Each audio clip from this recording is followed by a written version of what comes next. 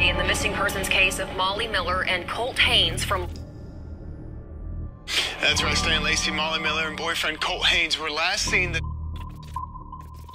of July 7th, 2013. And the hope for new clues in this disappearance continues today. Now